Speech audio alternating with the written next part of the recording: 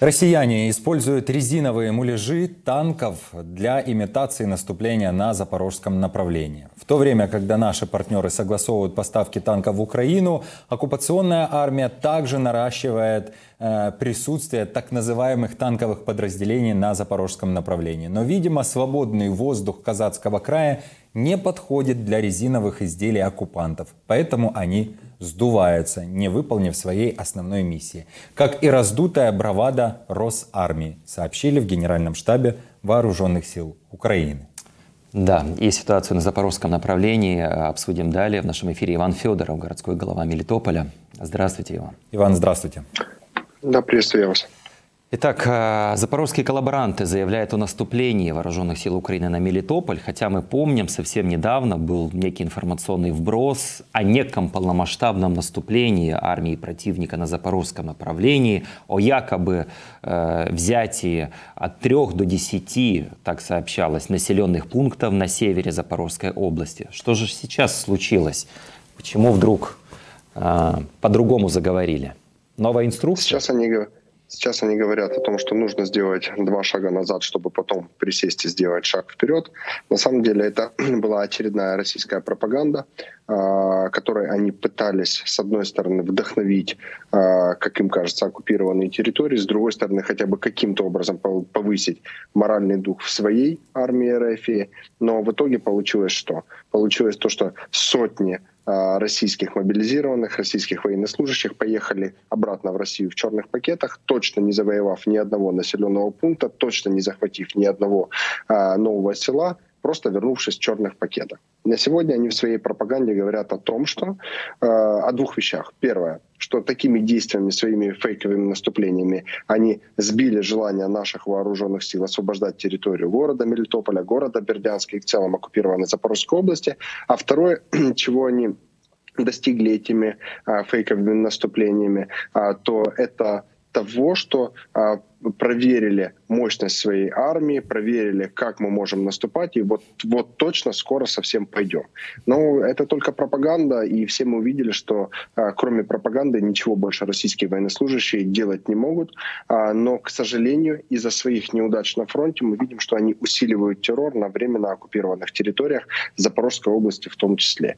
Я сейчас говорю в первую очередь о принудительной паспортизации. Буквально несколько дней назад они четко довели правила правило до всех жителей Запорожской области, что до 1 июня все должны быть с российским паспортом, иначе у них не будет права на владение жильем, у них не будет права на владение автомобилей, у них не будет права на обращение в медицинские учреждения и так далее. Поэтому сегодня наша задача основная — это сделать все возможное и невозможное, помочь нашим вооруженным силам и освободить наших жителей которые находятся сейчас на временно оккупированных территориях. Также да, на этой скажите, а неделе... а вот эти вот паспорта, которые принудительно дают людям, ну потом уже, если смотреть в будущее, после освобождения наших территорий, как людям потом объяснить, что ну, он не хотел брать этот паспорт, э,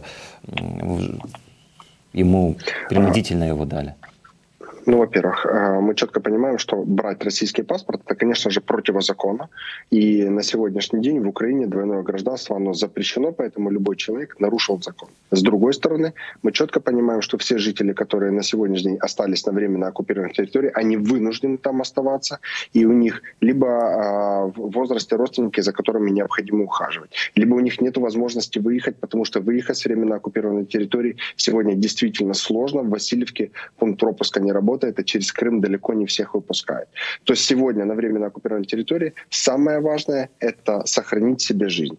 Но с другой стороны мы видим тенденцию о том, что большое количество жителей города Мелитополя, временно оккупированного, связывается с нашими спецслужбами и консультируются на ту или иную тему, каким образом действовать в а, такой ситуации. Есть четкие консультации, согласно которых наши жители а, находят возможности оставаться на временно оккупированной территории, не а, предав наше государство, но и сохранив себе жизнь. Ясно.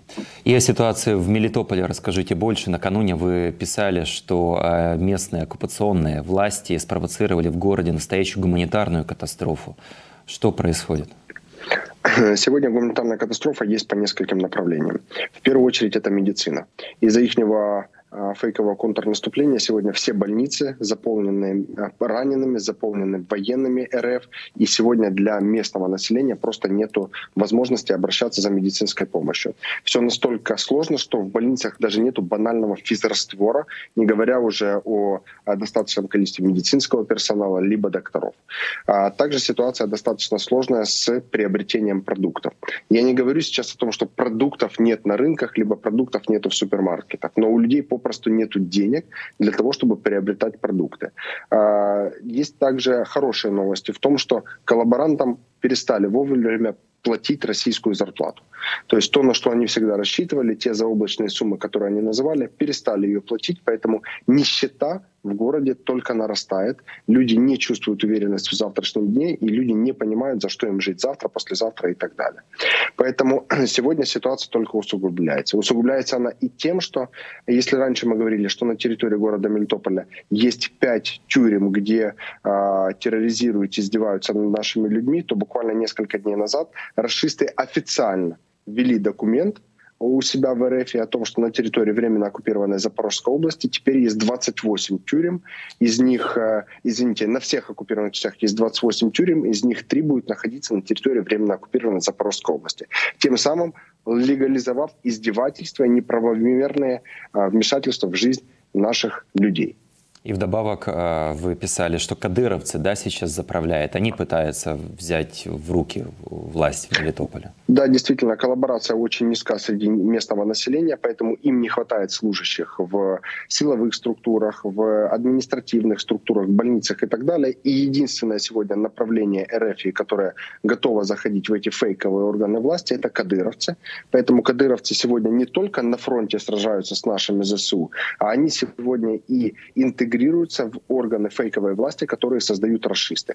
Также есть э, такой занимательный факт о том, что на э, двери э, созданной расистами налоговой написаны координаты счетов, куда необходимо платить налоги, которыми они сейчас обла- э, пытаются обложить все, весь бизнес на временно оккупированной территории Запорожской области. Так вот, расчетный счет э, для оплаты этих налогов — это Тульская область. Соответственно, задача россиян полностью украсть все на временно оккупированной части, в том числе деньги за налоги, они хотят получать в Тульскую область. Ну, абсурд полный. Да. И вдобавок вы э, сообщали, что пугает людей, э, готовит провокации э, в Мелитополе, распространяет неправду. Якобы украинские военные вот-вот будут обстреливать город. Это донецкий сценарий, по которому расисты да, пытаются пойти и на временно оккупированных территориях. В Донецке они массово рассказывали о том, что ЗСУ обстреливает и ликвидирует местное население. Все мы с вами четко понимаем, что это абсолютная ложь и неправда, но они делали это и э, массу раз обстреливали мирное население, подвергая их опасности. Та же самую тактику они сейчас хотят делать на временно оккупированной части Запорожской области. Точнее, по-другому, уже делают. В городе Пологе они такое делали. В а, других э, меньших населенных пунктах, например, Такмаки, они такое делали, но теперь хотят применить и в Мелитополе. Рассказывать о том, что это вооруженные силы Украины, а на самом деле будут сами уничтожать наше мирное население. Поэтому еще один раз мы а, акцентируем на том, что сегодня мы обязаны спасти наше мирное население, которое сегодня находится в плену оккупантов. Это десятки тысяч наших жителей. Ну и в Энергодаре тоже продолжается террор. Там местным жителям запретили выходить к берегу, э, а военным разрешили открывать упреждающий огонь на опережение в случае нарушения всех введенных правил. Э, оккупанты боятся, что местные жители будут корректировать огонь. Э, скажите, пожалуйста, накануне в районе Запорожской АЭС были зафиксированы мощные взрывы. МАГАТЭ даже об этом сообщала. Что вам известно о происхождении этих взрывов? Что касается взрывов, я не могу комментировать данную информацию. Давайте дождемся этих комментариев от военных. А что касается в целом террора, я хочу обратить внимание еще на один аспект. Представьте себе, россияне, которые заходили и всем рассказывали о том, что они за три дня выиграют войну, за неделю возьмут Киев, поменяют устрой в нашей стране. Вот это та пропаганда, которую они рассказывали. Прошло 11 месяцев, они за 11 месяцев даже на захваченных территориях не могут получить лояльность жителей, и в каждом жителе временно оккупированной области они видят партизана. Представьте, что у них происходит в голове. Поэтому они точно будут расстреливать всех, потому что они считают, что каждый житель сегодня временно оккупированной Запорожской области либо Херсонской области — это точно партизан, который работает против них. Потому что наши жители не сдаются, наши жители ждут освобождения вооруженными силами Украины и точно будут делать все, чтобы россиян как можно быстрее выжечь с нашей земли. Да. Иван, еще одна информация, не знаю, правда или вымысел, якобы в, в оккупированной Кирилловке видели белорусских военных, якобы об этом говорили местные жители, а, видели якобы, опять же, шевроны Витебского военного подразделения. Что об этом вы можете рассказать? Давайте тут расставим все точки над «и», чтобы не было двоякого толкования. Ну, ну, во-первых, мы четко понимаем, что у российских военных есть большие проблемы с контингентом, потому что массово пачками они уезжают все в черных пакетах. Еще летом мы говорили о том, что какие-то наемники иностранные появлялись на территории города Мелитополя. На тот момент мы говорили о том, что часть сирийских наемников приезжала, буквально две недели назад, офи... нельзя говорить официально, в своих пабликах РФовских они публиковали о том, что батальон Судоплатова в Мелитополе доукомплектован сербскими наемниками. Часть этих людей находится, кстати, в международном розыске, и э, там имя у них палач или, или, или как-то так. Сегодня есть информация от жителей, что какие-то жители Беларуси находятся на территории Кирилловки действительно, и э, они ездят на машине, есть даже конкретные машины, передвигаются на машине с Z. То есть меня тут ничего не удивляет, что какие-то жители Беларуси, никто не говорит про регулярные войска, какие-то жители Беларуси могли вступить в Э, состав какой-то российской части и воевать сегодня против наших вооруженных сил Украины и против нашего народа. Чем это закончится? Абсолютно понятно чем. Поедут в черных пакетах, э, если в лучшем случае поедут, они пропадут просто без вести. Поэтому сегодня такая тенденция может она быть, что несколько сумасшедших белорусов забрело и в Кирилловку. И такое может быть. Ну и с другой стороны, мы можем допустить, что сами же российские переоделись в форму белорусской армии, чтобы таким образом, вот, так сказать, втянуть, ну она и так уже Беларусь принимает участие в этой войне, но вот, вот еще и таким образом, может быть. Так и есть. А, теперь о воровстве и мародерстве. Вы уже об этом обмолвились, да, когда сказали, что там расчетные счета российских городов указывают, Тулы в частности. А, известно, что в Запорожской области теперь появились и псевдонотариусы.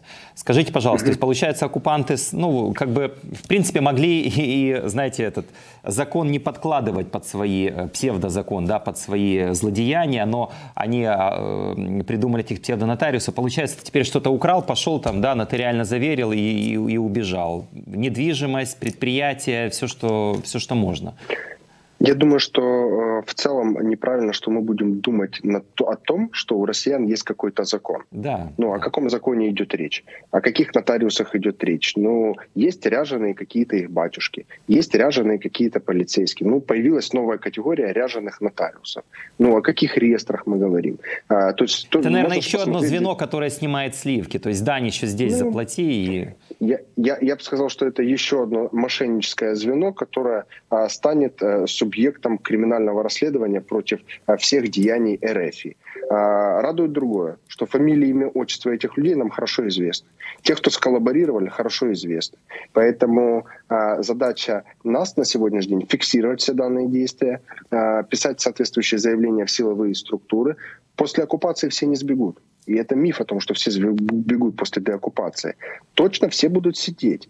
Считанные единицы смогут сбежать, считанных просто-напросто ликвидируют сами ФСБ а все остальные будут сидеть. Поэтому очень хорошо, что нам сегодня это известно. И таким образом это точно не про легализацию. Это точно просто про преступление против украинского народа очередную волну.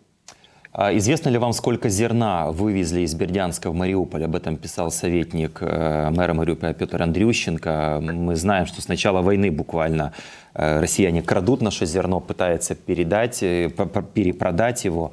Э, масштабы этого мародерства? Я бы сказал о следующем. Я бы сказал о следующем, о том, что мы не можем сказать конкретный месяц, в конкретный день, сколько вывезено, можем брать в целом. С времена оккупированной Запорожской области сегодня а, вывезено как минимум миллион тысяч тонн зерна. Миллион тонн зерна, извините. А, соответственно, это сумасшедшие деньги. Это сумасшедшие деньги, украденные у наших фермеров. Но что касается сегодняшней ситуации, то продать зерно просто почти невозможно. А, если фермер проявляет желание продать зерно, ему называются условия, которые точно невыгодны. Во-первых, цена невыгодна, во-вторых, деньги сразу никто не дает. Все говорят о какой-то мнимой рассрочке. А третье, если он не соглашается на эти условия, у него его просто отбирают. А курирует весь вывоз зерна преступник Гауляйтер Балецкий, который лично забрал под себя эту а, тему, извините за выражение, которую он сегодня курирует и полностью грабит наш народ. Да, самое главное, как вы сказали, мы знаем, кто за этим стоит, конкретные имена, и эти люди обязательно будут отвечать за содеянное. Сегодня еще, кстати, а, где-то видел, что собираются оккупанты на временно оккупированных территориях вести московское время. Это зачем? Ну, это же очередной виток пропаганды, да. Российские учебники, российский гимн в школах, а, дети пишут письмо солдату, российское время, бигборды в, во всех городах о том, что мы Россия. А, а теперь возьмем все это и посмотрим на деоккупированный Херсон который ровно за секунду полностью стал проукраинским обратно, либо всю Харьковщину. Поэтому все это ничего не стоит. Их пропаганда ничего не стоит. Это воздух, это, это мыльный пузырь. Да, это, это резиновые танки, которые сдуваются. Так Спасибо. Есть. Иван Федоров был в нашем Спасибо. эфире, городской глава Мелитополя. Всего хорошего.